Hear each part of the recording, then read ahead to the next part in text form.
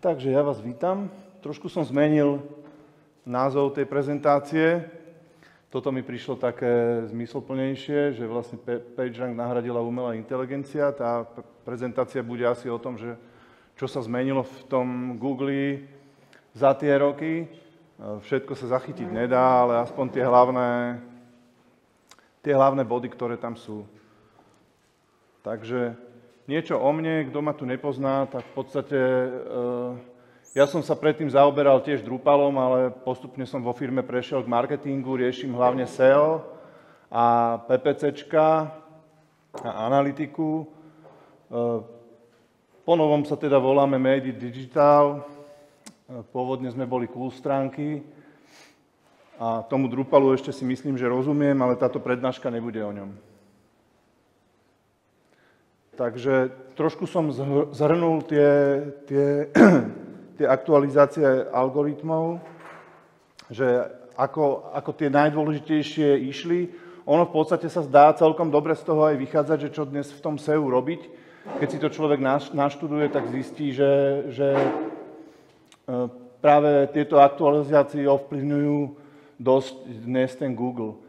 V podstate nebudem ich po jednom menovať, jedná sa o to, že v podstate tie prvé aktualizácie skôr niečo penalizovali. Panda, Pingvin, to sú proste eh, aktualizácie Google, ktoré zabíjali do stránky. Naše stránky to nepostihlo, alebo moje v tom čase. Som s tým nemal nejakú extra skúsenosť, asi som to robil podľa Google odporúčaní. Eh, tieto vlastne prvé roky bolo, bolo, bolo to hlavne o tom, že, že ten Google niekoho penalizoval. Hej. Ďalšie aktualizácie, ktoré nastali po roku 2015, už boli menej také. V roku 2015 tam bol v podstate, odvtedy sa začína Google zameriavať na, mobile, na mobilné. V, v roku 2015 Eh, Google začal eh, akceptovať alebo začal sa zameriavať na responsívne stránky. Neskôr v podstate, myslím, že v roku 2018 to tu nemám, tam bola aktualizácia, ktorá, ktorá už uh, rieši First Mobile Index, čo znamená, v preklade, že Google už nepozerá hlavne na desktop, ale pozerá hlavne na mobilnú stránku. Čo znamená, že ak vytvoríte nejakú stránku a v mobile budete niečo skrývať, napríklad aj CSS alebo JavaScriptom, je, je dosť možné, že Google to vôbec nebude akceptovať a vôbec to ako keby neuvidí, alebo teda bude, bude tomu dávať menšiu relevantnosť tým textom, obrázkom alebo médiám, ktoré v podstate skryjete. To je, to je dosť také dôležité. Z týchto v podstate potom RankBrain je, v podstate, je, je umelá inteligencia, s ktorou začali už teda v tom roku 2015 a ktorá, ktorá hm, je nejaká samoučiaca. Veľa o tom nepovedia, že o čo sa presne jedná. To znamená, že môžeme len predpokladať, že má na starosti hodnotenie relevancie dopytu k obsahu, hej? čo znamená, že hodnotenie relevancie toho, čo užívateľ dá do prehliadača a toho, čo je na tej stránke. Ale nie len z hľadiska kľúčových slov, ale celkového obsahu. V pod...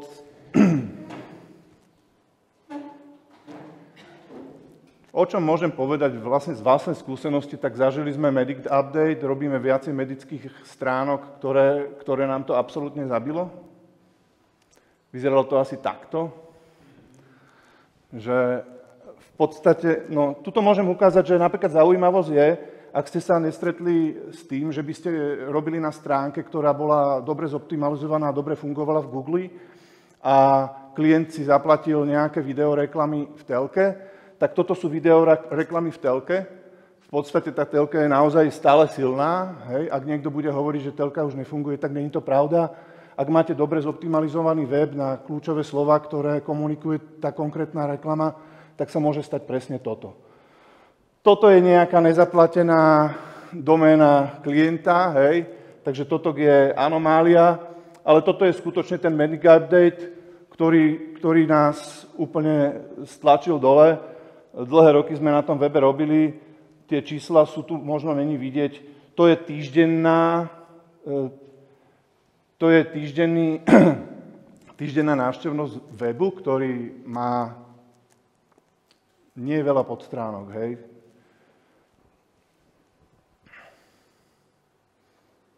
No, potom sme skúšali všeličo možné, ale v podstate na týchto, na týchto penalizáciách je vidieť, alebo na týchto updatech je vidieť, že vlastne Google je vládca. Ak vám niečo zabije, tak to zabije.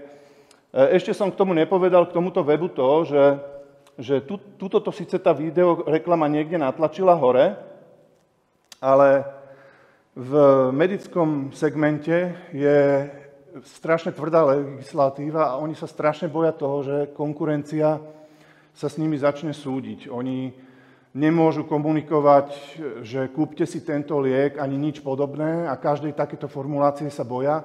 Takže keď išli robiť videoreklamy, tak zobral si to ich právnik na starosť, ten web a vlastne vyškrtal nám všetky veci, ktoré tam eh, boli také dôveryhodné, že nejakí, nejakí odborníci niečo tvrdili, tak všetko sme museli poskrývať. Takže pri tom Medic Update, ktorý sa zaoberá práve tako, takýmito vecami, dôveryhodnosťou, autoritou a podobne, nám to moc nepomohlo. Ale, ale ako vidíte, tak trošku sme sa niekde dostali, trošku nám to niekde vytlačilo hore. Ale nakoniec sa stalo to, že v marci prišiel ďalší update Google, ten tu už je spomínaný, o ňom Google veľa nepovedal, ale v podstate ten nás dostal naspäť. Ten nás dostal naspäť prakticky na všetkých medických weboch a keď si môžete všimnúť, tak sme na tom oveľa lepšie, ako sme na tom boli predtým. Je to pravdepodobne tým, že medzičasom sme na tom webe dosť toho urobili. Pravdou ale je, že tento konkrétny web e, sme tam navrhli veľa aj technických vylepšení, ktoré sa ešte nestihli deploynúť, takže e, to, čo nám mohlo pomôcť z našej práce, je skôr obsahová práca,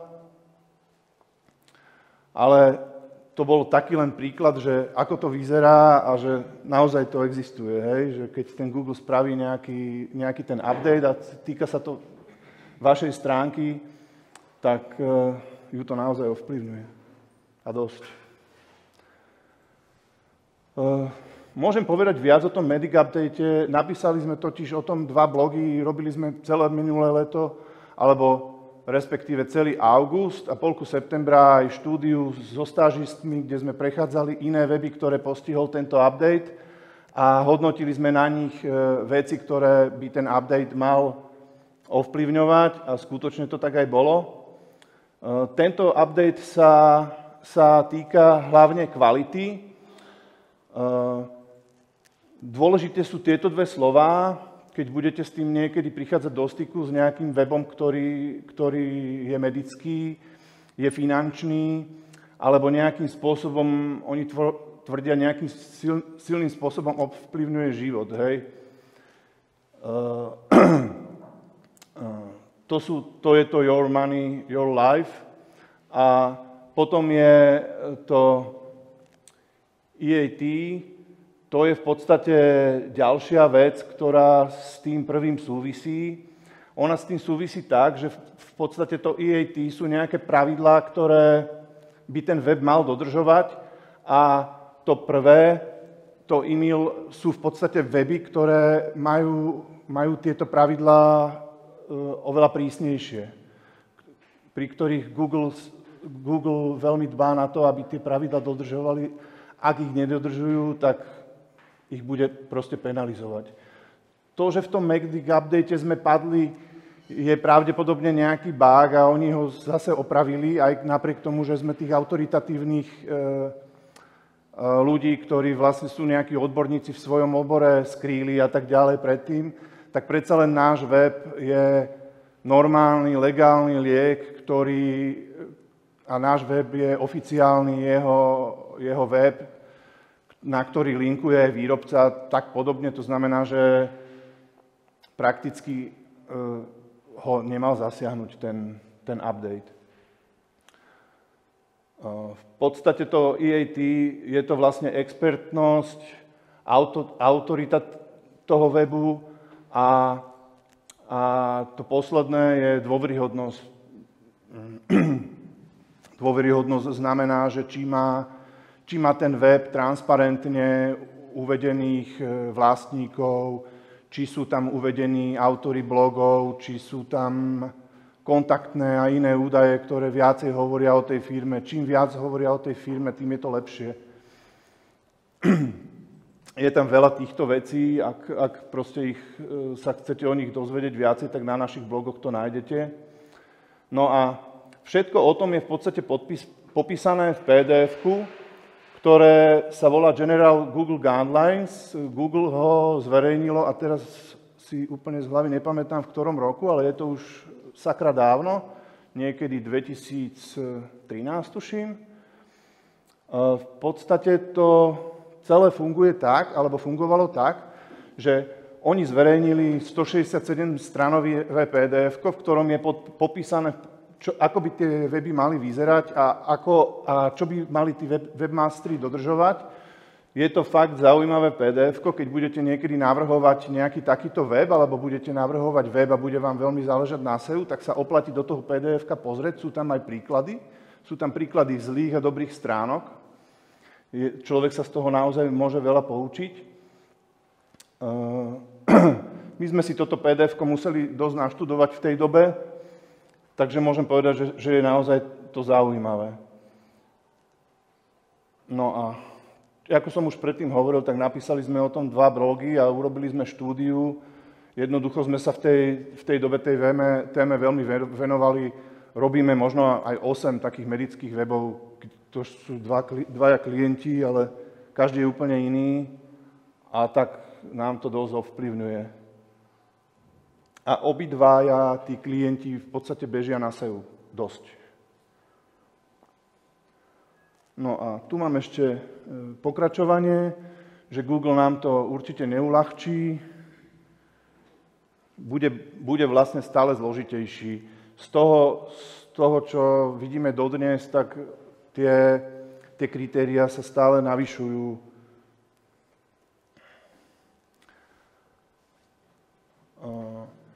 Google chce, e, čo sa dá vidieť napríklad z posledných aj konferencií a z posledného správania Google, tak Google chce viac rozumieť stránkam.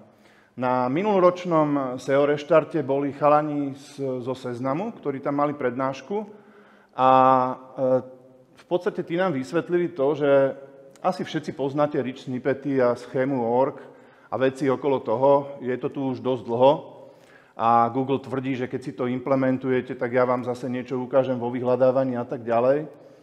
Sú okolo toho rôzne spory, že vlastne Google potom bude u nás vedieť už všetko a podobne. E, chalani zo seznamu nás dali trošku do obrazu a povedali, že v podstate vôbec nejde o to, že budú vedieť niečo o stránkach našich, na ktoré si dáme tie schémy. Zámerom Google je pravdepodobne nájsť podobné vzorce, paterny na tých stránkach a vedieť potom odhaliť iné stránky, alebo teda vedieť o iných stránkach viac, hej. Čo sú to, čo sú to tie paterny, jednoducho, či to je už adresa, alebo, alebo či, to je, či to je označenie content typu, alebo, alebo telefónneho čísla, iných konkrétností, v podstate všetko, čo označíte, tou schémou, tak Google si to vlastne prečíta, ale čo je pre neho dôležité je, že na vašich stránkach alebo na stránkach, na ktorých je to označené, si nájde vlastne tie paterny, ako to ľudia robia, ako vyzerajú vlastne tie, tie vzorce tých, týchto vlastne štrukturovaných údajov a tým pádom Google vie na všetkých stránkach lepšie pracovať so štrukturovanými údajmi. Oni zo, zo seznamu napríklad hovorili, že oni, oni e, štrukturované údaje vo vyhľadávaní vôbec nepoužívajú, ale, ale hm, hovorili tam o veľkých číslach, ktoré majú v svojom indexe a ktoré, v ktorých používajú tieto štrukturované údaje práve na hľadanie týchto podobných vzorcov, podľa ktorých by vedeli potom lepšie čítať stránky. Ďalšia vec sú tí manuálni hodnotitelia. To som vlastne k tomu EAT nepovedal, že, že Google zaplatil v tom čase 10 tisíc hodnotiteľom, ktorí v podstate chodili po tých stránkach a podľa toho pdf kde sú, kde sú napísané tie pravidlá, posudzovali tie stránky.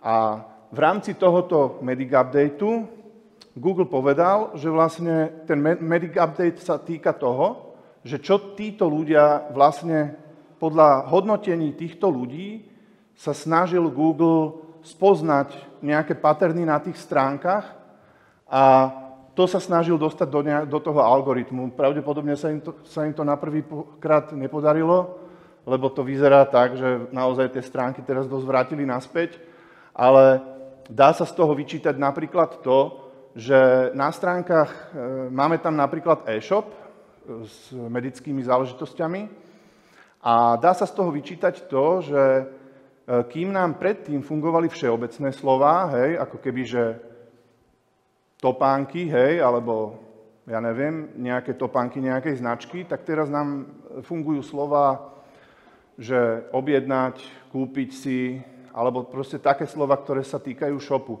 A ten, ten, to hodnotenie a to EAT v podstate sa zaoberá aj týmto, že vlastne, aby, aby stránka, ktorá má nejaké zameranie, alebo je, je nejakým typom, hej, že je to, je to e-shop, tak proste, aby, aby e-shop bol e-shopom, aby Wikipédia bola Wikipédiou alebo nejaká wiki stránka, aby blog bol blogom a článok článkom, hej.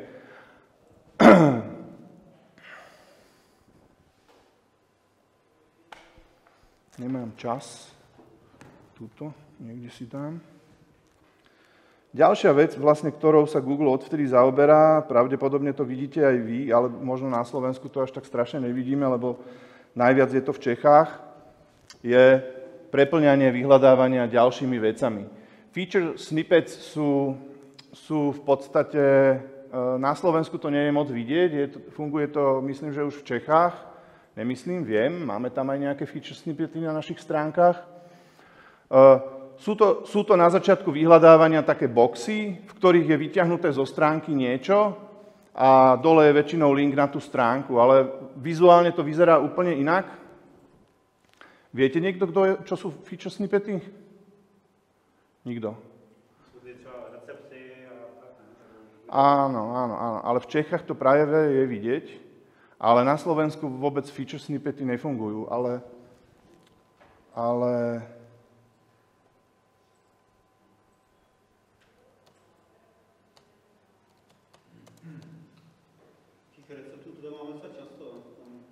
Mm-hmm. Ale recepty majú v SERPe svoje zobrazenie a to nie je feature, feature snippet. Feature snippet je niečo, čo je na začiatku a má to ako keby nultú pozíciu. A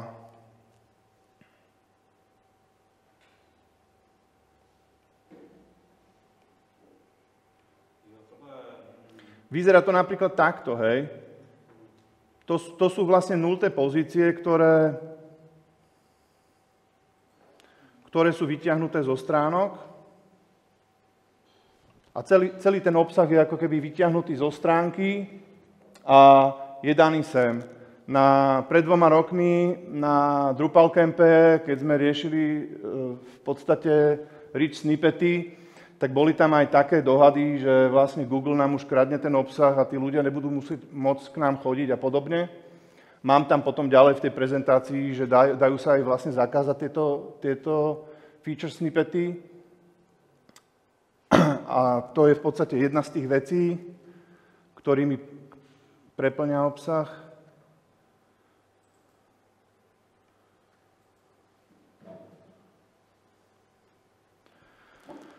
V poslednom čase sú, sú dosť aj okolo Google News rôzne diskusie. Potom lokál teaser pack, to je v podstate to, že keď vám dá nejaké lokálne vyhľadávania, tam máme napríklad na jednej stránke, tiež nám strašne dobre funguje v lokálnom vyhľadávaní. Posielame klientovi dva týždne po objednaní informáciu o tom, že môže do Google My Business pridať re- recenziu a strašne dobre to zafungovalo. Konkurencia v podstate vôbec nevie, že o čo sa jedná a my zachytávame strašne veľa tých výsledkov. Potom toto tiež, vlastne shopping funguje tiež len v Čechách, na Slovensku nefunguje. Knowledge graph je v podstate niečo také, čo vám ukazuje na pravej strane. Hej. Typicky je to pri nejakom lokálnom výsledku, keď je nejaký firemný výsledok, ale ukazuje to napríklad aj z Wikipédie a tak ďalej. Uh, ono to v podstate znamená, že Clownage graph je je nejaký zhluk dát, ktoré Google dá do, do jedného vizuálu. Hej. Potom Knowledge panel je väčšinou, väčšinou ťahaný z jedného miesta.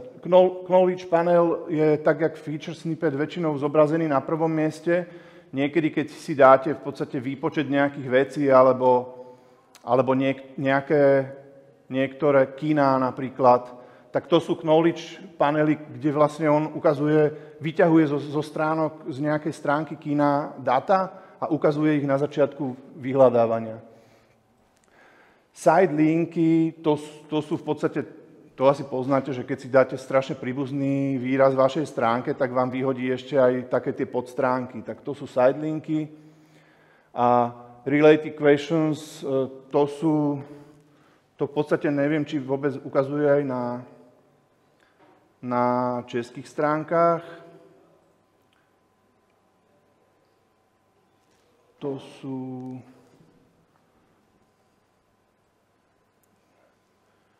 Jak sa to... People as all ask.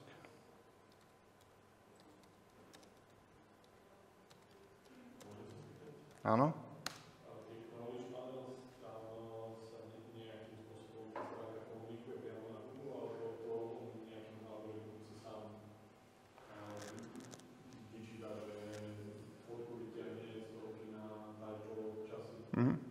To, to je presne to, že na robenie takýchto vecí on využíva tie, tie štrukturované údaje, ale prakticky akože z mojej skúsenosti tie dáta, ktoré tam dáva, častokrát vôbec nie sú označené štrukturovanými údajmi. To znamená, že tí ľudia z toho seznamu vlastne mali pravdu, že on, on sa len učí na tých stránkach, ktoré majú štrukturované údaje, že ako vlastne tie, tie paterny vyzerajú a potom ich vyťahuje a dáva ich tam. Hej. Knowledge uh, graph je niečo, niečo komplexnejšie, kde je tých vecí veľa a je to povyťahované z rôznych stránok a častokrát to vôbec není nejak označené ani nejak Google posielané. A Clownage panel, tam je to už také, také rozdielne, že nie som si úplne istý, či, či kína nemajú možnosť posielať nejaké feedy. Napríklad, e, mm, napríklad e, e, títo publishery môžu posielať feedy, hej, a to, to je už tak rozdelené. Ale častokrát, alebo väčšinou to pochádza z, z nejakého len ich skypovania.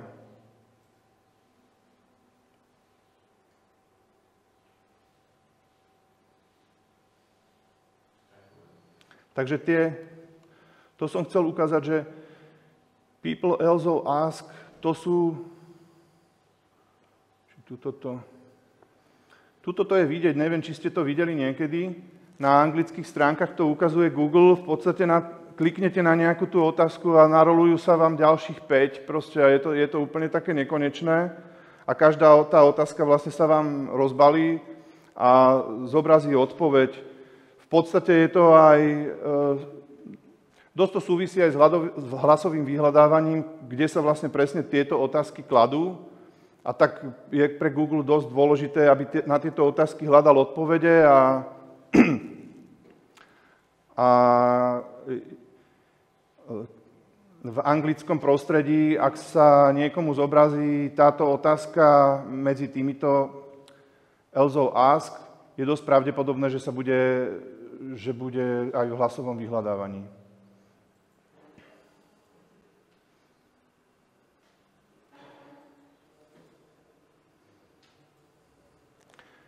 Tak vybral som si tu ešte aj zo pár technických vecí že čo je dnes dôležité, ten Mobile First Index, e, o tom sme už asi hovorili, neviem, že či ste sa s tým stretli. Stretli ste sa s tým niekto, že vlastne chodí aj z Google Search konzoly upozornenie, neviem, či vaše weby to používajú. E,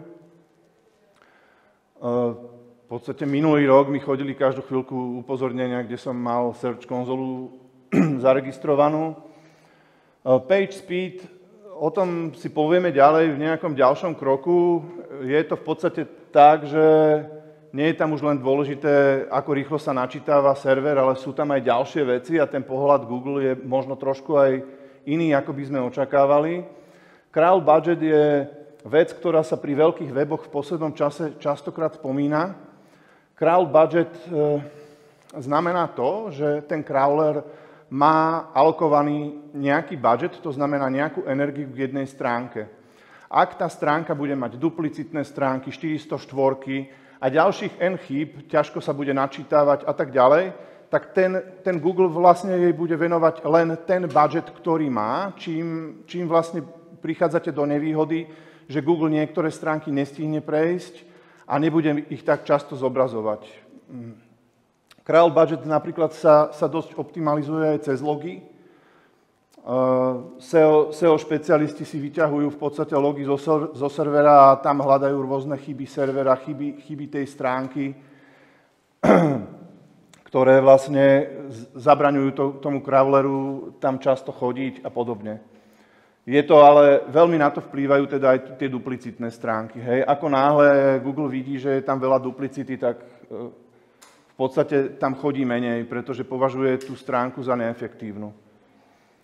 Preload, prefetch, prerender, to je v podstate tiež ďalšia téma, ktorá sa v SEO v poslednom čase, o ktorej sa v SEO v poslednom čase hovorí. E, sú to, sú to taktiky, ktorými môžete povedať crawleru, že čo má načítať. Prefetch a prerender sú, sú vlastne aj taktiky, ktorými môžete povedať Google, že pravdepodobne na túto stránku užívateľ pôjde ako na ďalšiu, čo znamená, že, že na pozadí pre, na pozadí prehliadača sa táto stránka načíta a potom bude oveľa rýchlejšie zobrazená. Robí sa to rôzne vyťahovaním z analytixu, pravdepodobnosti a tak ďalej Tiež o tom mám ešte ďalší nejaký slajd tam. Google News Feed mm, je znova, znova to pre tých, e, o čom som už pred chvíľkou hovoril. Tí publishery v podstate môžu nahrať ten feed do Google. A teraz bol SEO Logger pred dvoma týždňami, kde o tom bola celkom taká diskusia. Takže tiež o tom poviem viacej, keď sa dostaneme k tomu slajdu. A veľmi zaujímavou témou je tiež e, indexovanie JavaScriptu pri single page aplikáciách. Máme nejakú menšiu skúsenosť okolo toho, nerad by som bol akože nejaký prehnane múdry, takže tiež o tom niečo poviem, ale ak o tom chcete vedieť viac, tak vlastne no, väčšinu týchto vecí, ktoré, ktoré mám, tak sú to v podstate také insighty, ktoré, ktoré viem, a nejakú časť z nich sme robili, ale väčšinu z nich sme nerobili, lebo sú to tak nové veci a klienti tiež nechcú platiť úplne za experimentovanie, že, že až také skúsenosti nemáme. To znamená, že môžete si napríklad podľa toho niečo vyhľadať.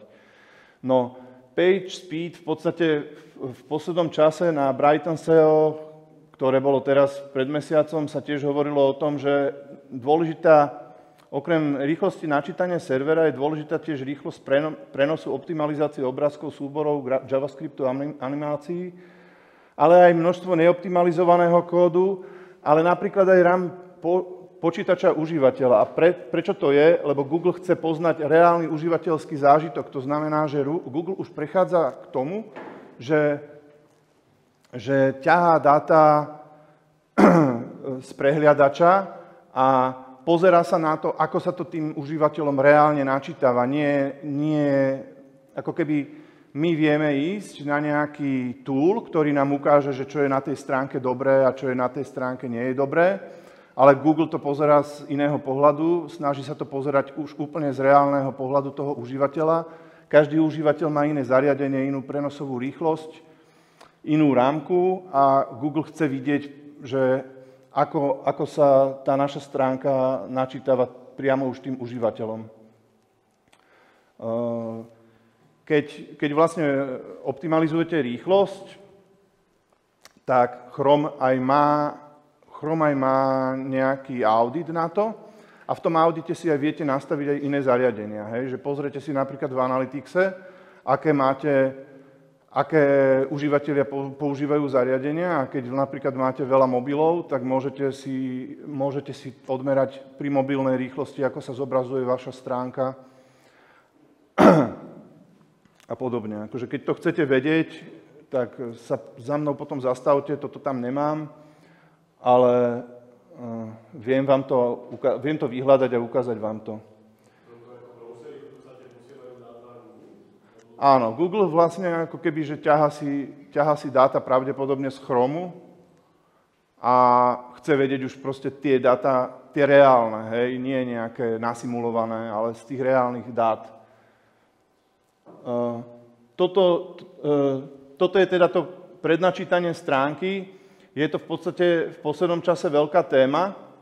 Uh, na Brighton SEO sa, ho, sa hovorilo aj o tejto knižnici, ktorá, ktorá používa nejakú už in, umelú inteligenciu na to, aby predpokladala, na ktorú stránku užívateľ ďalej bude pokračovať. Ťaha si aj dáta z Analyticsu, a tuto som spomenul, dneska keď som sa bol pozrieť na tej stránke na jej GitHube, tak napríklad e, príklad má, príklad má na Gatsby a v podstate Drupal CS Camp je urobený na, na Gatsby. Neviem, či ste si to všimli, že tá stránka sa na, načítava dosť rýchlo. Je urobená na statickom generátore HTML na Gatsby. Toto je v podstate taký typ na odskúšanie, vlastne zistil som to dnes.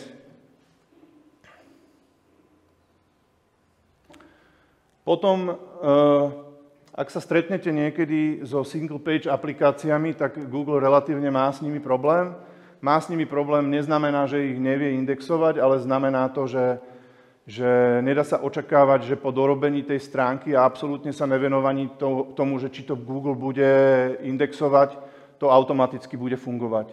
Z nášho pohľadu môžem povedať, že my máme odskúšanú client-side rendering, to už je teraz neodporúčané. V, tej, v tom čase, keď sme to robili, tak sme mali pocit, že niečo, niečo vyskúšame, tak sme to nechali tak, ako to je, pretože ten klient tiež nechce moc investovať.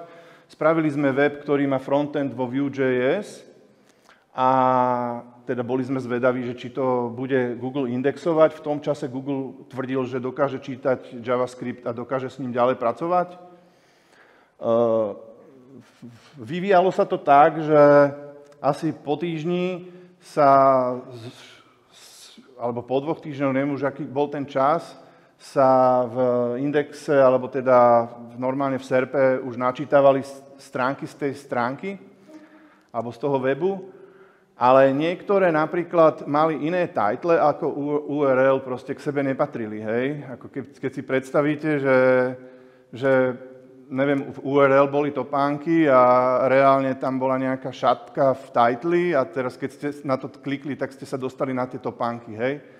Tak vlastne v tom čase sme pridali do kódu canonical, do toho javascriptového kódu, aby sa v podstate s tým, s tým titlom, ktorý sa tam načítava z toho javascriptu, načítal aj ten canonical. A toto sa vylepšilo, ale ďalej už sme to nejakým spôsobom nesledovali, pretože už teraz je to neodporúčané. Odporúčané sú tieto ďalšie tri. Dynamic rendering je, je niečo také, akoby, že e, podsúvanie Google HTML tej stránky, ktorá vlastne je vyrenderovaná. Je to v podstate taká dvojaká práca. Server-side rendering je v podstate generovanie jedného HTML, ktoré potom použije JavaScript aj, aj Google to je možno taká najčistejšia metóda a hybrid, rendering je v podstate kombinácia niečoho z tohoto. Musím povedať pravdu, že to nemám až tak naštudované. Použil som to len tak pre vašu informáciu, že keď chcete o tom sa dozvedieť viac. Google Newsfeed, to je v podstate tá ďalšia zaujímavá téma, keďže na Drupale sa dosť e, robia stránky pre publisherov, tak toto je pravdepodobne zaujímavá téma pre publisherov. Môžu sa na Google zaregistrovať ako produ- producer a svoj feed môžu do Google načítať. Čo je vlastne na tom zaujímavé je, že pred tými dvoma týždňami bol ten SEO logger a Jarda Hlavinka je človek zo Seznamu CZ, ktorý tam má na starosti SEO, povedal, že oni toto už testovali a že jednoznačne to vyzerá na zlepšenie trafiku v desiatkách percent, keď sa to použije.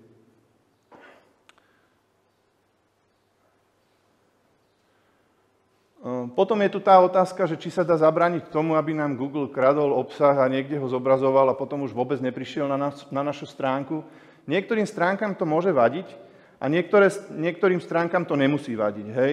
Napríklad, ak máme nejak, nejakú, my, my spravujeme nejakú stránku pre klienta, ktorý, ktorý rieši nejaký produkt a chce ho propagovať, tak jednoducho pozeráme na to, či sa nám v tých feature snippetoch zobrazuje. Ak sa tam zobrazuje, ten človek vôbec nemusí k nám kliknúť. Jednoducho tí ľudia to vidia, môžu si to prečítať a nie je tam úplne cieľom toho, aby sa ten užívateľ dostal na stránku. Je to, je to určite super a je to pozitívne, ale dôležité je, aby si ten užívateľ prečítal niečo o tom produkte alebo už záleží na tom, či ho ten klient chce vzdelávať, alebo či chce, či chce priamo už predávať tie produkty, alebo, alebo čo chce, ale uh, jednoducho tam to nemusí byť také dôležité.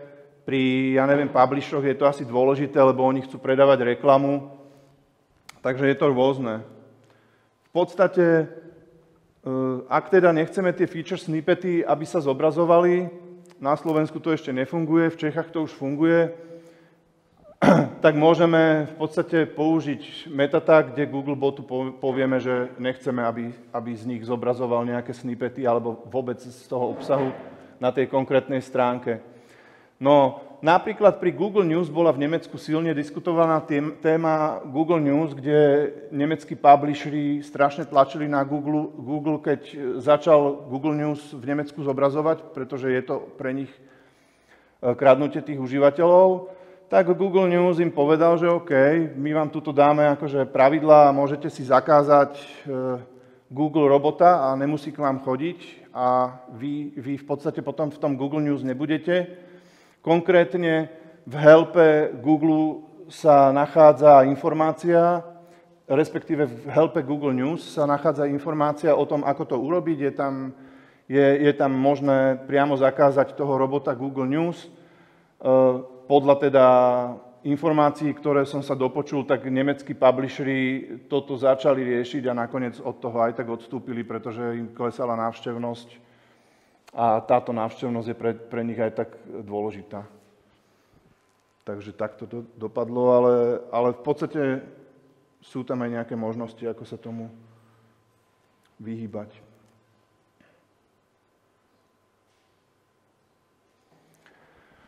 No a trochu aj z iného sveta, s vecami, ktorými sa stretávame, my robíme dosť obsahové SEO, robíme analýzy kľúčových slov. Ak, ak, ak teda chcete budovať nejaký web, alebo dostanete sa k tomu aj, že budete riešiť nejako ten obsah, hlavne možno aj pri weboch architektúru webu, tak je naozaj dôležité v dnešnej dobe mať analýzu kľúčových slov. Analýzy kľúčových slov, ktoré sa robia sú veľmi komplexné, ukážu vám, čo tí užívateľia hľadajú, ukážu vám to v, v rôznych proste entitách alebo témach, ktoré hľadajú. Není to len ťažkopádny nejaký zoznam kľúčových slov, ktorý má 3000 fráz, ale e, v tých analýzach, aspoň teda tie, ktoré my robíme, máte potom aj pre toho klienta v gráfoch krásne zobrazené, že ktoré témy tých užívateľov zaujímajú, kto, o ktorých témach by sa na tom webe jednoducho malo písať. Uvidíte potom z toho aj, že aké content typy napríklad použiť pri tom webe. Hej. Uvidíte, že či, či veľa kladajú, kladú otázky, alebo že či, že či veľa používajú lokálne výrazy.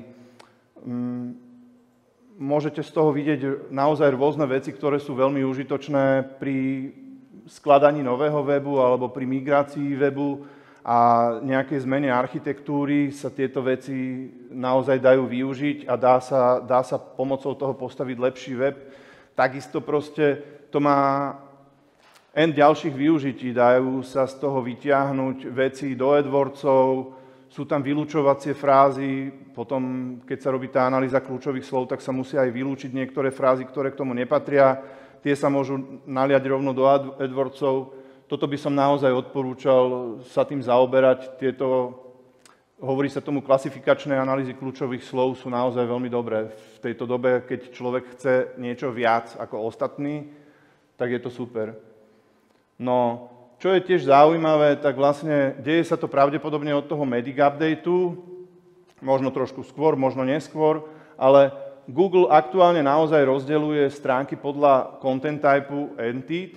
E, dostávate sa častokrát do situácie, my máme napríklad e, klienta, ktorý predáva váhy a váhy sú zároveň aj horoskop. Horoskop je strašne silný a my v podstate podľa toho vieme, že na kľúčové slovo váhy e, nemá pre nás, není pre nás efektívne sa ním zaoberať, pretože pretože Google si určí, že váhy ako horoskop sú viac hľadané a prakticky je absolútne nepravdepodobné, že by vám tam pichol e-shop. Hej. On, on, on to má ako keby takto rozdelené po tých entitách a on už vie, že proste prvých N výsledkov budú tie horoskopy. A, tá, a ten e-shop sa v minulosti tam mohol dostať, ale dnes je už veľmi nepravdepodobné, že sa, to, že sa tam dostane. To je presne tak, že k produktu v e-shope napríklad, keby ste dávali popis, ako keby to bola Wikipédia, tak jednoducho tiež si nepomôžete. Ten e-shop, ten produkt má nejakú štruktúru, Google podľa tej štruktúry vie, že čo to je, že to je produkt a on tie všeobecné výrazy je dosť nepravdepodobné, že bude e, zobrazovať vpredu. Tie, tie na ktoré má, má lepšie výsledky, napríklad z Wikipédie, z blogov alebo z niečoho iného. optimalizujte obsah na tému a nie kľúčové slovo, tak to už e, bolo povedané v tej analýze, s tou analýzou kľúčových slov. A latentné synonyma a súvisiace slova sú dôležité. To sú také tie slova, ktoré keď zadáte nejaký výraz, tak na, na spodu toho, tej stránky toho vyhľadávania sa vám zobrazujú ako tie ďalšie. Ak by ste sa dostali do situácie, že pracujete s obsahom a optimalizujete nejakú stránku a zamýšľate sa nad tým, ako, ako zlepšiť, tak vlastne v týchto slovách sa nachádzajú tie slova, ktoré Google očakáva, že budú, budú vo vašom texte tiež.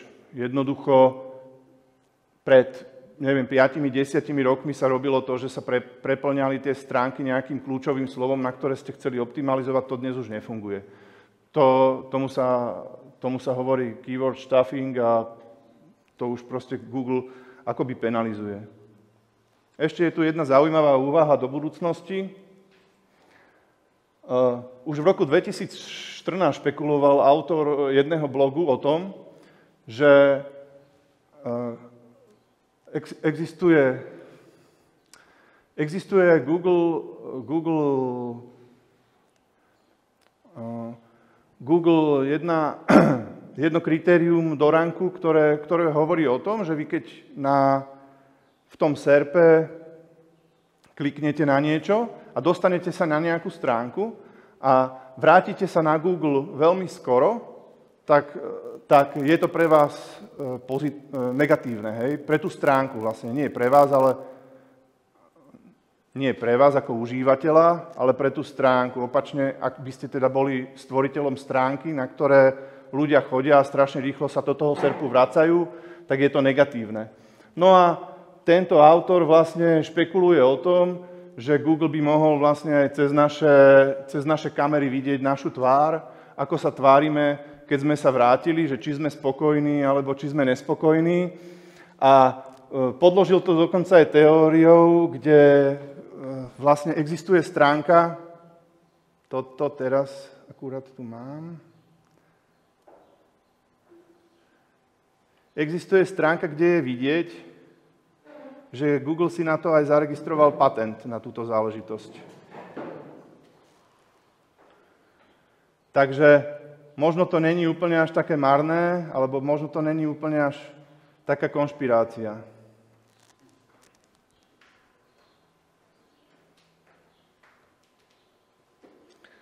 Zhrnutie na záver. No podľa môjho názoru Google bomby. Neviem, či ste vlastne niekedy zachytili, že čo je Google bomba. Google bomba je výraz pre, pre niečo, čo v minulosti sa robilo. Napríklad na Slovensku sa spravilo to, že keď ste dali do vyhľadávania, že klamár, tak sa zobrazil mečiar. Vlastne jeho, jeho stránka, jeho vládna stránka, na ktorú určite teda, teda tí ľudia nemali, nemali dostup.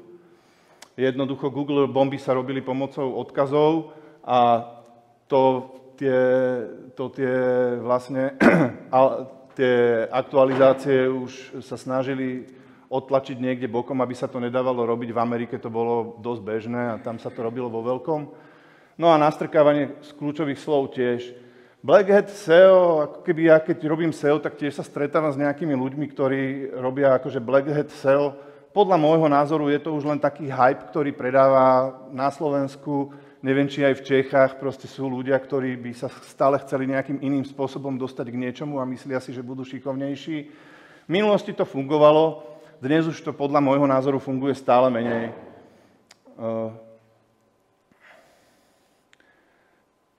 Základy SEA sú rovnaké a byť lídrom nestačí, to je asi jasné. No a tých faktorov je stále viac a je, stále, je ich strašne veľa. To znamená, že čo je úlohou SEO konzultanta v dnešnej dobe je naozaj nehovoriť, že čo máme robiť len, ale vedieť vyfiltrovať v tých veľa faktorov, že čo je práve pre túto stránku zaujímavé a čo by ju mohol posunúť, lebo všeobecné, všeobecné veci už moc neplatia. No a hlavne treba vychádzať v užívateľovi v ústrety. V podstate Google sa presúva aj k tomu, že chcel by, aby, aby tie stránky používali nejaké UX, dávali nejaké featurey tým užívateľom, aby na tých stránkach zostávali, boli spokojní a Treba samozrejme držať krok s technológiami a veľa toho táto stránka nezachytila, ale snažil som sa do nej dať to najdôležitejšie. Takže nejaké otázky?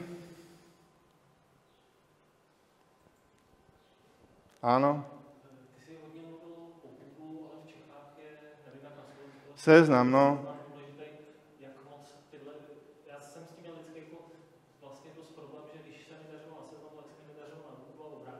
Mm-hmm.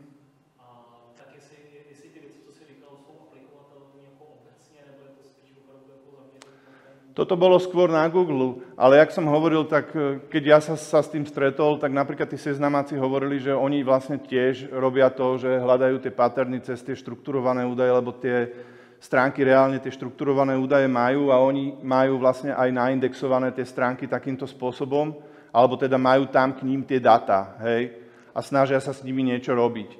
A relatívne my na Slovensku sa viac zaoberáme tým Googlom, akože máme aj nejaké české stránky, ale musím povedať, že relatívne nám, nám na sezname fungujú tak, že sme s tým spokojní, to znamená, že nemuseli sme robiť nič viacej a tým pádom nehovorím o tom, o čom, s čím nemám skúsenosť. Tak ďakujem za